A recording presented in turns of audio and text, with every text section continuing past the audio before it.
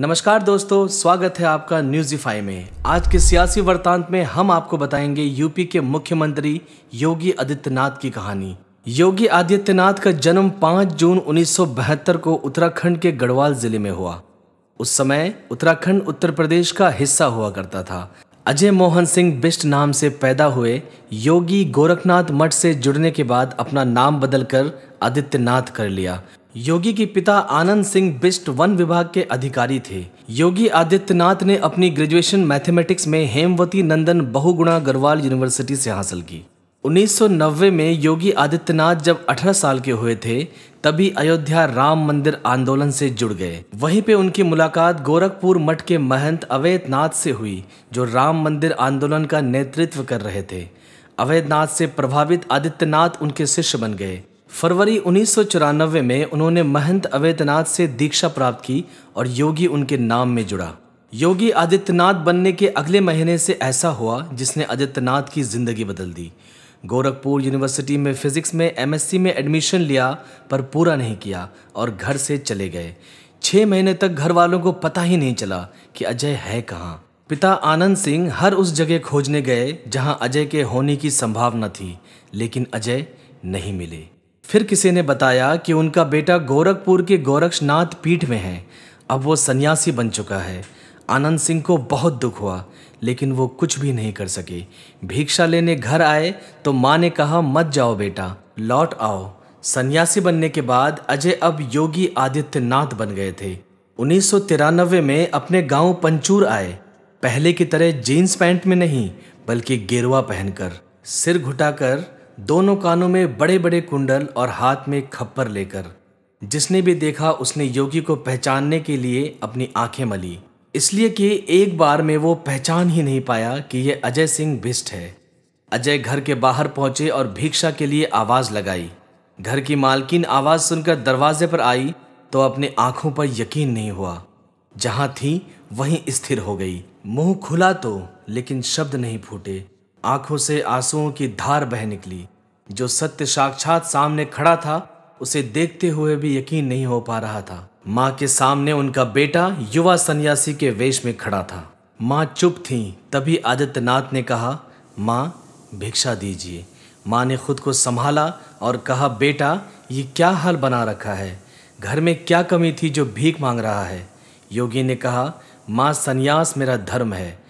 एक योगी की भोग भिक्षा से ही मिटेगी। आप भिक्षा में जो कुछ देंगे, वही मेरे मनोरथ को पूरा करेगा। माँ को बेटे के इस रूप पर अब भी यकीन नहीं हो रहा था। उन्होंने कहा, बेटा, तुम पहले घर के अंदर आ जाओ। आदित्यनाथ ने मना कर दिया और कहा, नहीं माँ, मैं बिना भिक्षा लिए ना तो घर के अंदर आ सकता हूँ और ना ही यहाँ से जा सकता हूँ। जो कुछ भी हो, वो मुझे दे दीजिए। इसके बाद ही मैं यहाँ से जाऊँगा। माँ बेटे की जिद के आगे हार गई।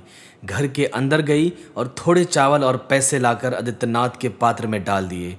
भिक्षा पाने के बाद आदित्यनाथ पीछे मुड़े और वापस चल दिए। आँखों में आँसू लिए माँ घर के दरवाजे पर खड़े होकर अपने बेटे को जाते हुए देखती रही। योगी आदित्यनाथ सन्यासी बन गए।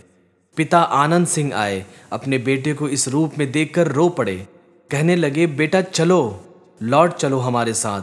लेकिन योगी नहीं गए। पिता निराश होकर लौट गए। उन्हें शायद उम्मीद थी कि वो बेटे को अपने घर वापस ले आएँगे। इसलिए वो अब की बार अपनी पत्नी सावित्री के साथ गोरखपुर पहुँचे।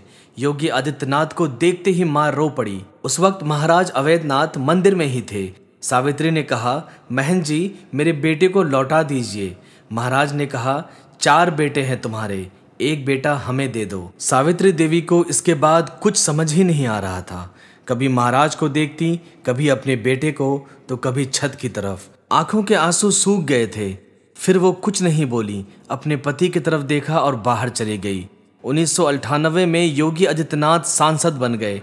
परिवार के लोग मिलने आए, सभी खुश थे। पिता आनंद सिंह और माँ सावित्री देवी भी। एक झगड़े से कैसे शुरू हुई योगी आदित्यनाथ की राजनीति और कैसे बने यूपी के दूसरे बार सीएम? बात है मार्च उन्नीस सौ चौरानवे की जब मठ द्वारा संचालित इंटर कॉलेज के कुछ छात्र बाज़ार में एक कपड़े की दुकान पर खरीदारी करने गए। वहाँ मोल भाव को लेकर दुकानदार से झड़प हो गई। इसी दौरान दुकानदार ने अपनी रिवॉल्वर निकाली और हवा में फायरिंग भी कर दी। इससे आसपास हड़कंप मच गया। पुलिस ने कार्रवाई छात्रों पर ही कर डाली और पुलिस छात्रावास में घुस गई। अगले ही दिन छात्रों का गुट इकट्ठा होकर दुकानदार के खिलाफ कार्रवाई की मांग करने लगे। इन छात्रों का नेतृत्व कर रहा था एक भगवा वस्त्र पहना सन्यासी। जोश से भरा ये निडर सन्यासी को देख लोग अचंभित हो गए थे। ये भगवाधारी मात्र 21 साल का युवा योगी आदित्यनाथ था। योगी की नेतृत्व क्षमता और हिंदूवादी विचारधारा इंटर कॉलेज के छात्रों को काफ़ी पसंद आई और उन्हें योगी में अपना नायक दिखने लगा। छात्र योगी से जुड़ते चले गए और यहाँ से योगी एंग्री यंग मैन वाली छवि के साथ राजनीति में घुस गए। महंत वैद्यनाथ, जो गोरखपुर लोकसभा क्षेत्र के सांसद थे, उन्होंने अपने प्रिय शिष्य योगी आदित्यनाथ की हिंदू युवाओं में बढ़ती लोकप्रियता को देखते हुए अपनी सीट से चुनाव लड़वाया। उन्नीस सौ अट्ठानबे में योगी ने अपना पहला लोकसभा चुनाव गोरखपुर से लड़ा और मात्र 26 साल की उम्र में सांसद चुन लिए गए। लगातार पाँच बार सांसद चुने जाते रहे योगी आदित्यनाथ ने हिंदुत्व की राजनीति को ही हमेशा अपना आधार बनाया। उन्होंने निजी सेना, हिंदू युवा वाहिनी की स्थापना की।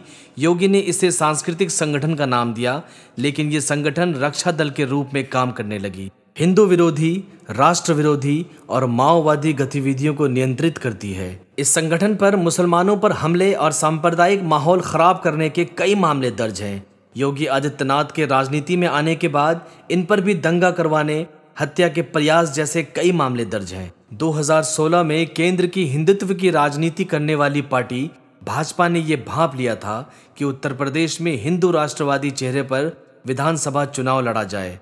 तब तक योगी एक कट्टरवादी हिंदू नेता के रूप में उभर चुके थे। उनके समर्थक उन्हें हिंदू पुनर्जागरण का महानायक मान रहे थे। योगी को मुख्यमंत्री का चेहरा बनाकर भाजपा ने चुनाव लड़ा। और उत्तर प्रदेश में भाजपा भारी बहुमत हासिल करते हुए अपनी सरकार बनाई और योगी उत्तर प्रदेश के युवा नेता के तौर पर पहली बार मुख्यमंत्री बने। वहीं दूसरी बार 2022 में दोबारा पहले से अधिक सीटों से जीतकर उत्तर प्रदेश के मुख्यमंत्री फिर से बने। दोस्तों, आपके लिए ये स्टोरी लिखी थी हमारे साथी फराज जमाल ने। अगर आप ये वीडियो यूट्यूब पर देख रहे हैं तो हमारे चैनल को सब्सक्राइब करना ना भूलें। और अगर आप ये वीडियो फेसबुक पर देख रहे हैं तो हमारे पेज को लाइक करते चलें जिसे जब भी हम कोई नई वीडियो लेकर आए तो आपको पता चल जाया करे। आज के लिए इतना ही। कल फिर मिलते हैं किसी नए किस्से के साथ। तब तक के लिए नमस्कार।